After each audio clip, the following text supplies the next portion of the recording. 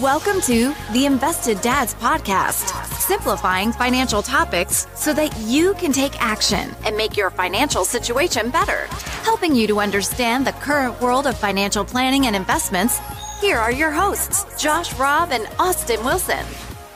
All right. Hey, hey, hey. Welcome back to the Invested Dads Podcast, a podcast where we take you on a journey to better your financial future. Today, Josh, we got a fun one. It's going to be an episode where we talk about saving. That's right. We'll be working on our CPR training and also practicing the defibrillator on each other. Well, actually, I was talking about saving money, but uh, if you're suggesting we play with the defibrillator, that seems shocking. Ah, that's true. But we should.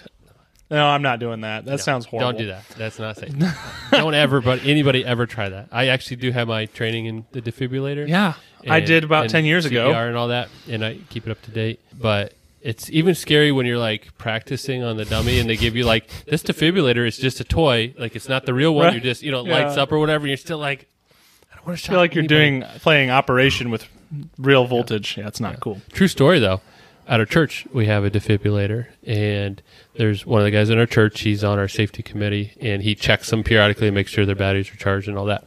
So he checked it one day, and then after church, they had uh, men's basketball. He, the guy who checked the defibrillators, actually had a heart attack, collapse, and they used those defibrillators to save his life. The ones he checked. I'm glad that he found out it worked. Yeah. So it's just crazy, crazy. So you know, we make sure those are up to date. But it came in. I mean, it saved a guy's life. Hey, The guy who checked it that morning to make sure they were ready to go. that is what it's for. Yep. So yeah, kind of give us a brief up, uh, kind of a breakdown where we're going today. It's a new year, right? Let's talk about saving in a new year. Yeah. So, you know, when you think budgeting and, you know, one of those pieces of your budget, like we talk about, we just had a podcast on budgeting. True. Uh, savings is a piece of that, right? You need to account for a portion of your budget to go towards savings, whether it's short term savings, long term savings. So today we're going to talk about that. So, what types of accounts could you be saving in? So, we're going to look at the account types. How much are you allowed to save in each account? There's certain restrictions on some accounts. Um, what is the average saving that people do here in the United States? I think that's always It a good may benchmark. shock you, It may shock you, like the defibrillator. like the defibrillator. and what's our recommendation? Yeah. that we'll kind of wrap it up with that. Exactly. So let's kind of take that from the top there. Mm-hmm. What accounts are there to save? And we came up with a list of about six. There's many. There's more. What are some types of accounts that there are to save? And actually, I think we did an episode on account types where we kind of talk about this, and we'll link this. There's a few episodes we'll link to Yes. previously that might be some good Tying together. background information.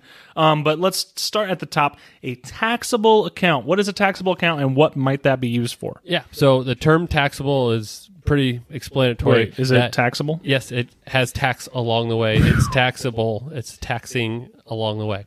Um, a good example of that would be emergency fund, which we did a episode on recently. So a taxable account is whenever I sell something, I owe tax on that transaction. At the end of the year, If you I'll made get, money, yeah. yeah, uh, but it's a taxable. You know, I could maybe deduct it if Correct. it's a loss, but it's a taxable event uh, on a sale. If I get interest in that account, I'll each year owe tax on that interest, or dividends or- yeah, any kind of income that comes in. Know, if you municipal, then it's tax free, but it's still a taxable event. You just are allowed to op- offset it. So taxable accounts are great. What is an example of that? Emergency fund, right? That's Yeah. you know when we talk emergency funds we you need access to that money you don't want restrictions taxable accounts are nice because the restrictions are pretty much non-existent Yeah, and then depending on what kind of account you actually put that in, just even like a high interest savings account, that interest you're getting is taxable. Yeah. So that's kind of it's, Yep. kind of where we're at in, as as far as taxable goes. Um, let's talk about savings for health expenses because you know what, health expenses are not cheap, right and they get more expensive the older you get, Mm-hmm. and they don't get cheaper over time in general. So, what is an account you would use for health expense savings? yeah so there's a couple different types but the main one most people will see would be an hsa health savings account hsa uh, so what that is is if you have a high deductible plan you are allowed to have an HSA along with it. And an, an HSA account is nice because you get to put money in, get a tax deduction on that. So it's a tax free contribution. It grows tax free. Mm-hmm. And if you use it for healthcare expenses, there's no tax owed.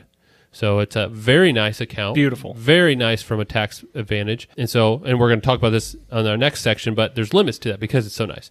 But that's a, so again, we're talking savings. So if you're looking at carving up some pieces, saving for healthcare costs is a good idea. Right. HSA is a nice place to save. Now, depending on where you work and what plans you have, you may have other types of health savings plans where Yeah. maybe they put money your your your corporation, your business puts money in and then you have a set amount you can spend. Those type of savings accounts usually go away. So if you don't use it at the end of the year, you lose it.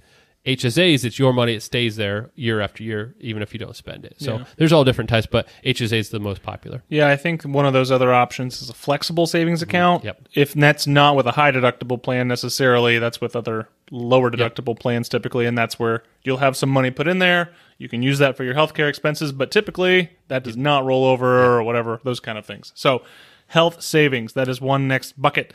Uh, another bucket is company retirement plan. Yeah. So that would be 401k, or if you're in the nonprofit world, 403b. There's a couple other ones that they're kind of strange numbers and letters, but These are the in main general, ones, those are the yeah. main ones. You know, 99% of people have one of those two if they have a retirement plan. So they're nice. They're pre-tax most of the time. There's some options for after-tax Roth 401ks, but in general, it's pre-tax, meaning you get to deduct that from your income in the year you make your contributions into it. A lot of times, the company will also match, and so if you put in a certain percent, they'll also put in some, so it's free money. Also, like to point out within there, there's other types of retirement plans like simple IRAs, SEP IRAs. There are other things that maybe your company has. They're all the same in that they're pre-tax, and so they all grow tax deferred, meaning you're deferring or putting off taxes. Taxes will be owed later, but you get to at least grow tax deferred for a while. And these have become super popular since the 80s mm-hmm. or so, I think I've read, as the the retirement savings or the way that people are funding their retirement has drastically changed over those couple generations or whatever.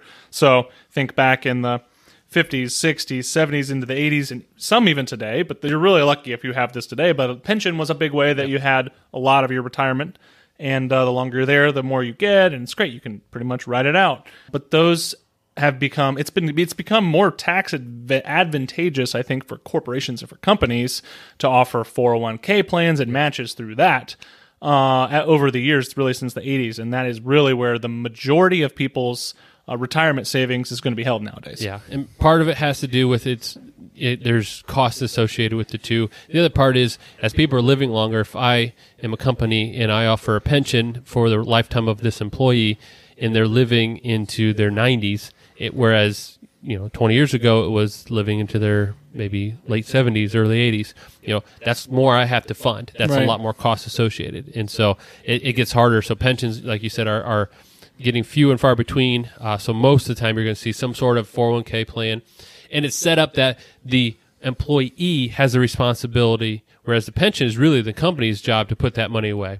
Um, so yeah, Yeah, it was. I mean, it was very common that you could retire without putting a dollar into the stock market back back in the day, and now that is just not the case. So that is company retirement plan. Now think about retirement savings on your own. Yep. So personal ones, you would have IRA accounts, either a traditional IRA or a Roth IRA. Now IRA stands for individual retirement account. Gotcha. account. So it's yours. Uh, so you open it. You it's tied to your Social Security It's tied number. to you. Yep. So I can't share it with my spouse. It's my account. My spouse can have their own, but we don't share one. You can't have a joint account. So those are great in that a traditional IRA is pre-tax. You can get a deduct- deduction, and then a Roth IRA is after tax, and it grows tax-free from then on. So two great ones. That's another saving for anybody. So as long as you have earned income, you could use those up to an income limit. Right. Well, you know that's we've talked about that in the past and account types and stuff, kind of where those where those sit. But in general, most people will qualify for that. So another way to just have a catch-all Yes. is a taxable account. Like we had talked about savings accounts with interest payments, that's taxable. Taxable accounts can really be used for a ton of things, but kind of just if you have another whole a bunch of money you don't know what to do with, you can put it in a taxable account and do whatever you want with it. And that's what that's for. Yeah. So it's not And- necessarily this is after your emergency Yeah, fund. don't think emergency fund. This is think brokerage account, just a savings account. account, whether you can invest whatever you want, like an Yes. yeah, an investment account. Yep. And that idea is it's again it's taxable, so you pay tax along the way, but the restrictions are less. And as we get into these re- limits coming up, we'll talk through that a little bit. But the idea there is I can put as much money as I want into this type of account, and it grows taxable along the way. So I control the taxes when I choose what I'm doing. Yeah.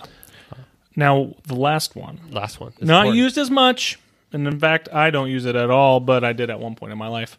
The good old piggy bank. Good old or piggy the, bank. Or the coffee can in the cabinet, That's right. or the bag of cash in your backyard. Yep. So the other way of saving is just accumulating the money Yeah. physically, just having it with you. And so we'll talk about that. So let's get into limits, all right?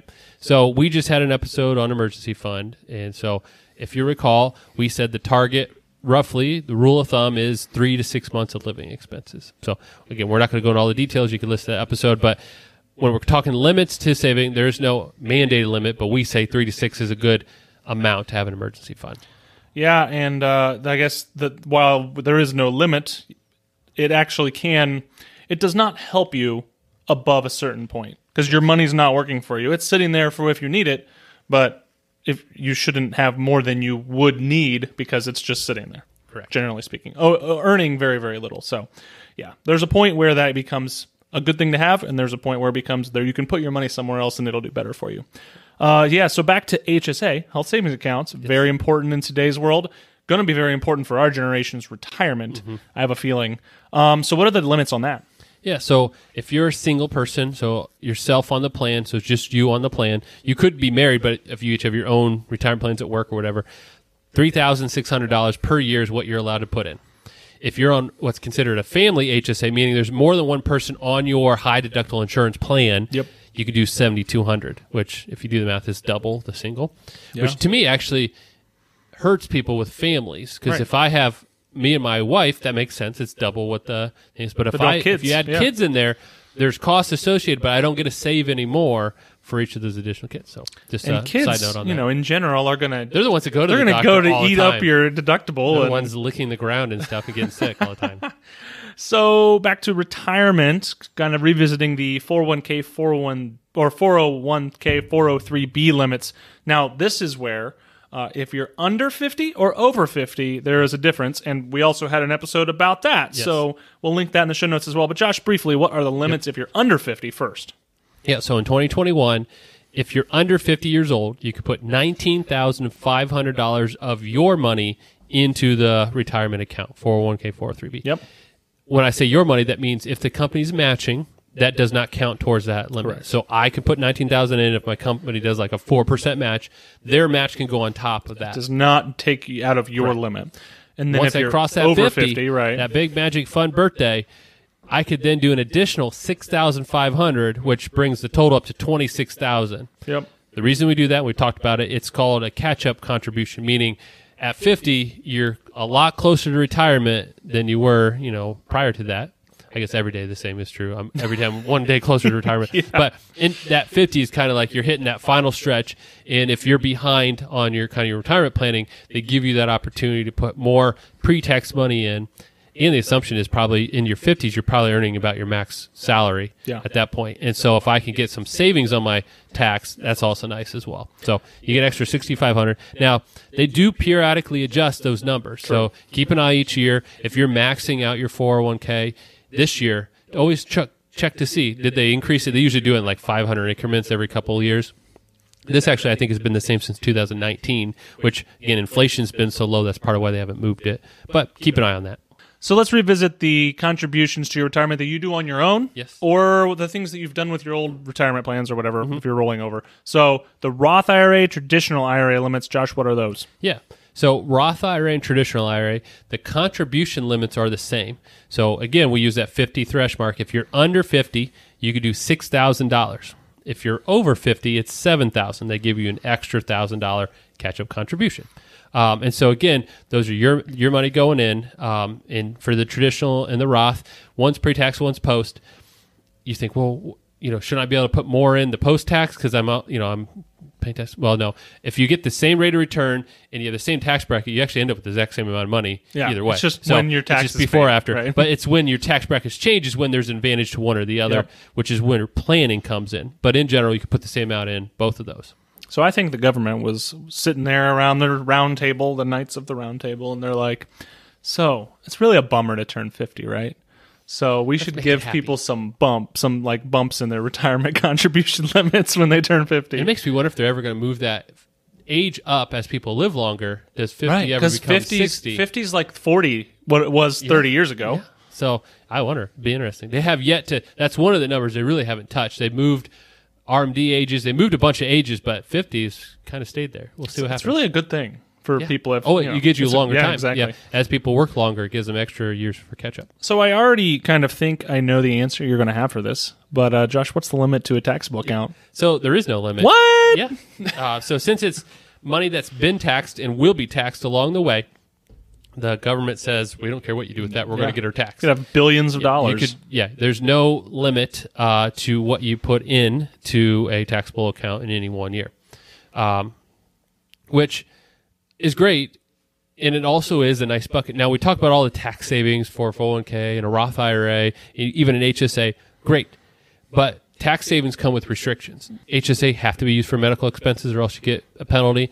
401ks, Roth IRAs, traditional IRAs, all those if you're before 59 and a half, 10% penalty. Taxable account, no penalty. Do what you so want. It's a nice bucket. Yeah. Even though you're taxed along the way, capital gains taxes are usually at or below what your effective tax rate is. And so, you know, it's it's not that bad of a deal to have a piece of your assets in taxable money. True. The last, but not least, what is the limit to the good old fashioned coffee can or piggy bank? Until it is full. You know, once it's the money doesn't go in anymore. That's right. You can't Then you take to it to the bank. Uh, but in general, th- we put that in there kind of as a joke. You know, that's you know when you think of kids saving, they have their little piggy bank trucking in. But having cash, accessible cash at home or somewhere close by is nice. Just for, and we've talked about this, you and I. You shake your head all the time, but the person comes to the door and you need to buy those Girl Scout It's my easy out. Oh, man. I got no cash. But in general, having some access to cash somehow is good for emergencies. The limit is again, at what point is it deterring my long-term growth? And Hey, in case all those conspiracy theories come true and you need to have cash on need- hand. You need a cash on hand. I'm more just worried about tolls. So Oh man, so I was we were on vacation in Florida a few years ago, and we were driving back from my cousin. My cousin lives in Florida. Hey Jacob, what's up? If you hear this, He waved to him. Waved to him on a podcast. But uh, we were driving back to the resort or whatever we were staying, and he lived close to Daytona, about an hour and They a half. race there, don't they? A little bit. Yeah. About an hour and a half from uh, we were staying near Orlando. And so we had to take toll road back. Beautiful drive, nice driving through Florida. It's pretty boring. It's Florida. Well, we are on toll road and I have cash, like dollar bills cash, but quarters, not so many. yeah. And the I had plenty of cash to cover my toll, and we got off on the exit that we needed to to get back to our resort, and they only took exact change Oh. because there was no one working it, Yep. and there was a bucket you had to drop it in, and I was in a rental car too, Mm-hmm. of all things, so I had to take an envelope like they let you do, and I had Mail to it in? and I had to go home and write a check for a dollar seventy five and mail it to Florida. It was dollar seventy five plus postage. I know. So that was another 50 they get cents or ya. whatever. So anyway, my uh, tolls, Yeah. man, they get me. They do. That's why you everyone That's why you need access to cash. Fast pass. Oh, that or cash. I I have now in my both my vehicles a little stash of just quarters and stuff, just because I don't want to get caught without low tire pressure. Anything where I just need a quarter. Like there's been too many times where I just need change. The Aldi cart at Aldi, you need a quarter for. Mm-hmm. Need a quarter, Can't- That's yep. how they never. You'll never see an Aldi cart floating around No, Finley you got to put it back. because you got to. If you want your quarterback, you got to put your cart back. That's genius. That's right. Someone right. they real okay. So we took a break. we took a, let's- let's. We're gonna take another break. Josh, a break from a I break. I've got a dad joke of the week for you. I hope I haven't used this one yet because this is hilarious. okay, I'm ready. Josh, how many tickles does it take before you can make an octopus laugh? Now I know this one because my kids love this joke. But I'm going to let you tell me because I just want to hear you say the words. Okay, so I'm going to rationale this with you because it is not anything to do with octo, meaning eight. No. Nope, it means, or the answer is tentacles. Tentacles Tentacles. because they have tentacles. Because they have tentacles. Oh, I, love thought it. that was funny. I like that one. All right, so let's. That we we were just happy. We were riding a high. Now we're going to get depressed. Yes. Let's talk about some depressing numbers. So, what do savings look like? You know, for average Americans here. You know, in America. Yeah. So uh, I was looking through some articles, and was reading through, and it varies depending on what reports you see. Um, but in 2019, the Bureau of Labor and Statistics, which they pretty do, reputable they do a pretty good job. uh, they said, and this is 2019, the average person had 78,635 in gross earnings. So they just looked at the earnings on everybody here in the United States, which amounts to 67,241 after tax. So just average person making 78,000 gross, 67 net. Okay. So then they said, okay, how much does this person spend? So they did their little whatever they do for their statistics. Found the average person spends sixty-one thousand two hundred and twenty-four dollars, Yep. which leaves math in my head six thousand and seventeen dollars left, or in other words, unspent money, Right. or in other words, Saved savings. Yeah. So that's money that didn't get spent, so it's saved. So if you do a percentage, then that's seven point six six percent of their total Gross. gross earnings, Yeah. or just about 9.8% of their net earnings. Okay? So uh, I have a feeling I know that that is going to seem quite low. So, and I read a couple other articles. Everywhere I read, somewhere between 6 and 8%. So I'm thinking everybody's using gross numbers, but somewhere between 6 and 8% is what they said the average American saves. And that is that is general. A bulk, the bulk of that is going to be contributed to retirement. 401k. Uh, then there's going to be any other savings. It's just any savings, that you're in not general. spending. Yeah, so but the number somewhere, and I would stretch it even to say between 6 and 10% is what the average saving is in the United States. gotcha. Uh, so when we look at retirement planning, we do a lot of that here. Um, we talk through, and even in the industry, it used to be fifteen percent was the number. Yeah. save fifty, get to fifteen percent uh, savings, and you'll be fine. Well, people are living longer. Cost of living, healthcare costs are going up. The new number is about twenty percent. So somewhere between fifteen and twenty percent is the target people should be saving. Right. Um, and that's not like emergency fund saving. That's a retirement savings. That's saving for your future Right. retirement. So if I have a short term goal of, hey, I need a new car, that's not part of my 15 to 20%. That's on top of that. So again, you can see it's probably closer to 20 to 25% of Yep. your savings in any given year, depending on what your short term goals are. And so again, looking at, let's just use the high net number and just say, you know, that's, that's great. Nine, nine, almost 10% savings. We're still halfway to where we should be. That's not good. That is not good. And then uh, TD Ameriprise actually had a survey in 2019 as well. They surveyed 2,000 people, so you know, not a huge survey group, but they the requirement though of those 2,000 people, they had to have at least $25,000 invested. All right, so they've actually done some savings. These 2,000 people have at least 25,000 unfed. They found 66% of those people who were in their 40s had less than 100,000. Hmm. Okay? So you think about retirement and savings and what's needed, and we've we've talked about some of those numbers, kind of what your target is along Right. the way, and then 28 percent of those 2,000 people who were in their 60 in their 60s had less than fifty thousand In their dollars 60s. saved in their 60s. So they're at the edge of retirement. You know, they're Right. within walking distance Yeah. of the door there to get out, and they only have fifty thousand dollars saved. This makes me feel that the obviously the numbers aren't lying. You know, the vast majority of Americans are planning on being nearly entirely dependent on Social Security Yes. for their retirement. And let me tell you what, that is not you're not going to have the retirement you want if you that's going to be a stressful, not fun re- retirement. Retirement was retirement was not designed to really be reliant on Social Security. Right. Social Security is there as the safety net. It was created as a safety net for those that you would at least have your essentials taken care of. Yeah. It's not designed to support your full retirement lifestyle. And you know how we probably got here because a lot of people, as they've changed jobs and changed companies, they've made some, what we would say, probably unwise decisions with their rollover 401ks. They would just cash out mm-hmm. when they move jobs. They would cash out anything they could that they've accumulated for benefits just as soon as they could, regardless of the penalty over time. And it's probably put a lot of people behind the eight ball. Yep. And then not only that, but you know, if you look at parents and generations past, like you mentioned, pensions covered a lot of their income in retirement.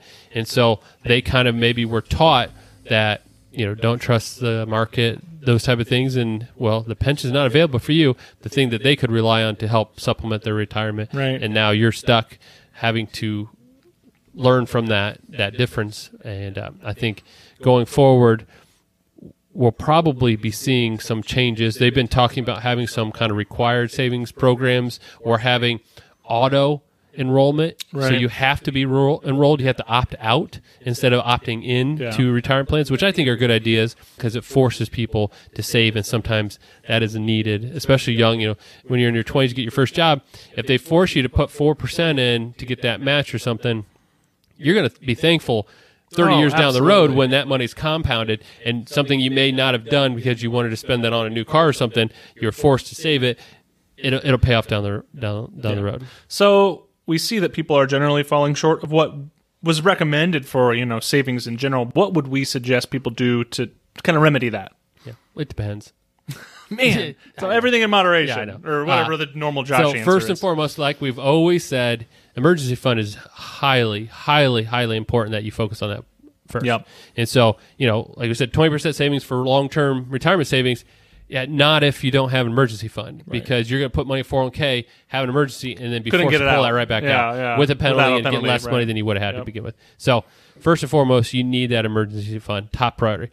But we say make it a goal to get to that 20% threshold. And I would say once you hit the 20, see if you can get beyond that because that'll only help you give you more freedom and flexibility down the road. especially the earlier in life you are. Yes. Oh yeah. The more you can do when you're young, if that percent, if you're doing twenty plus percent when you're young, oh my goodness, Yeah, yeah. you're gonna be doing awesome. Yep. Just keep in mind though, this doesn't happen overnight. No. So if you listen to this podcast and say, you know what, I want to get serious about saving this year, I'm not doing anything. I don't expect, and I would be surprised if you found a way to save 20% in the first year. Overnight, oh yeah, yeah. Where's yeah. that coming from? Right. Uh, so it doesn't happen overnight, but find ways to create that habit. Mm-hmm. Savings is a habit, and if you create that habit over the long run, you'll be able to build on that foundation. And so we've talked about this, but there's a 50 50 rule. So what it means is every time you get a raise, take 50% of that raise, increase your savings, take the other 50%, add it to your budget for inflation. And so if I get a 4% raise, 2% goes to increase my savings. So if I was at zero, I'm now saving 2% of my income. And then the other 2% goes to my budget. Next year, if I get another 4% raise, I'm now saving 4% because I added another 2% there. 2% goes in my budget. Next year, if I get a 4% raise, I'm now saving 6%. And that works up. I'm getting to 20. Uh, that's a great way of doing it. Well, and what the the other benefit of doing something like that is when you go to retire, you're living on repl- less. you're living on less, so you need less to maintain your standard of living. So the money you've already saved lasts longer. There's a lot of benefits to that. And we talked about an emergency fund. Any unexpected money comes in, throw that towards savings. So birthday, graduation, anything where it's like, hey, here's some extra money I wasn't expecting, savings. Company match. So we talked about 401k, 403b. Those are the simple IRAs have a match too sometimes. Those are the spots where if the company's offering you free money to save, take it. Can you beat free money? Oh man, you can't The, beat the rate of return on Yeah. that is great. So That's just something I heard at one of my at my old job. People would say no, and they'd say, "Yeah, I can go get that in the market or whatever." And the truth of the matter is, if it's match of any kind, there is no way you're going to get even a close. hundred percent match every dollar is pretty hard to get um, unless you Unless you're like- buy Bitcoin last year, I guess. but uh, in general, you're not going to get there. No. And so get that um, get that match, and I would even argue get that match even while you're still trying to do some of your other goals True. because that's money you're never going to get back. They don't come back. Oh, here, let me pay that match you didn't get last year. No, Exactly. you know, emergency fund top priority. Then after that, it's the match. Yep.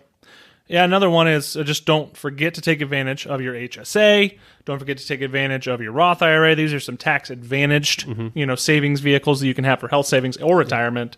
Just don't don't forget about them. you know, if you're in a high tax bracket, chances are you can't do a Roth IRA. So focus on the ones that can. But Yeah. in general, for most people, a Roth IRA is probably an option that you should at least consider. Um, look at what what your tax bracket is. Talk to your tax preparer and just say, hey, if I do a Roth instead of a little more in my 401k, what's that look like? Is it worth it? I like multiple buckets. I like a pre-tax, a post-tax, and a taxable. Those three buckets are nice because it gives you more flexibility. And don't forget that if you've checked off all the boxes above and you got money left over, shove it in a taxable account. Or if you have a short-term goal, Or if you have a short-term goal, yeah. you, So- yeah, you want to have you be able to have access house? to it, right? that should be a taxable account. Put it in a taxable account. You can grow some money and and have, do whatever you want whenever you want with Mm-hmm. it. Not a problem. That's great flexibility. So those are the vehicles that we would suggest. I guess yeah, make 2021. This is a new year. Make it a year of saving. Just make little changes. Like Josh said, you know these aren't things you're going to be able to do overnight, but you know, let's just take a step and get a little better. Even if it's fifty dollars a month Yep. to get that habit started. Yep. Automate it, make it happen automatically, and get that habit started. And as always, check out our free gift to you. It's a brief list of eight principles of timeless investing. These are overarching investment themes meant to keep you on track to meet your long term goals. Investing is some of those things we talk about. So check that out. It's free on our website. Josh, how can people help us to continue to grow this podcast? Yeah. First of all, subscribe so that you get the most recent updates Every Thursday. To you. Every Thursday. Every Thursday. And leave a review on Apple Podcasts if that's where you listen. Any great ideas or topics, shoot us an email, hello at the Invested Dads, or if, if you just want to say hi, we'd love to interact with you and see how you're doing. If you think someone is interested in this savings topic, make sure you save share this episode with them. The idea there too is, you know, maybe you could start a conversation and work through accountability where you say, "Hey, let's do this together. Let's start saving and set these goals." So that's the things that we'd love to see happen and hear about it too. All right. Well, until next Thursday, have a good week. Yep. Talk to you later. Bye. Thank you for listening to the Invested Dads podcast. This episode has ended, but your journey towards a better financial future doesn't have to. Head over to theinvesteddads.com to access all the links and resources mentioned in today's show. If you enjoyed this episode and we had a positive impact on your life, leave us a review, click subscribe, and don't miss the next episode. Josh Robb and Austin Wilson work for Hixon Zuercher Capital Management. All opinions expressed by Josh, Austin, or any podcast guests are solely their own opinions and do not reflect the opinions of Hixon Zuercher Capital Management. This podcast is for informational purposes only and should not be relied upon for investment decisions. Clients of Hixon Zuercher Capital Management may maintain positions in the securities discussed in this podcast. There is no guarantee that the statements, opinions, or forecasts provided herein will prove to be correct. Past performance may not be indicative of future results. Indices are not available for direct investment. Any investor who attempts to mimic the performance of an index would incur fees and expenses which would reduce returns. Securities investing involves risk, including the potential for loss of principal. There is no assurance that any investment plan or strategy will be successful.